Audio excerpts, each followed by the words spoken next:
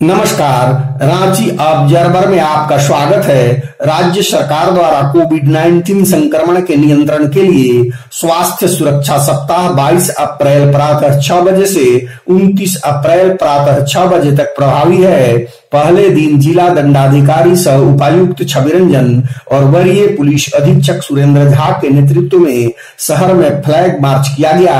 इस दौरान उपायुक्त छविरंजन और वरीय पुलिस अधीक्षक सुरेंद्र झा ने अल्बर्ट एक्का चौक से रेलवे फुट ओवर ब्रिज तक विधि व्यवस्था का जायजा लिया। इस दौरान शहर में बेवजह यात्रा कर रहे दो पहिया और चार पहिया वाहन चालकों को चेतावनी देते हुए घर से बाहर न निकलने की सलाह दी गई। साथ ही प्रशासन के द्वारा आम जनों से अपील भी किया गया कि आवश्यक होने पर ही घर से बाहर निकले।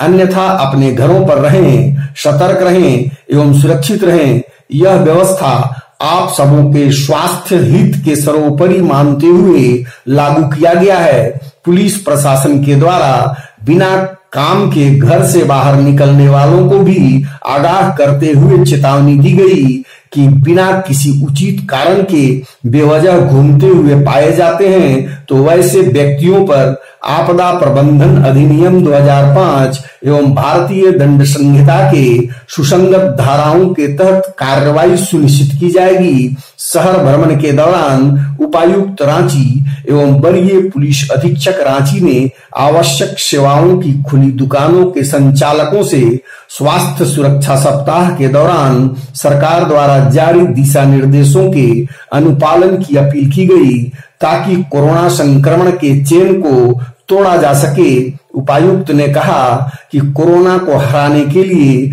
रांची वासियों का सहयोग बेहद ज़रूरी है।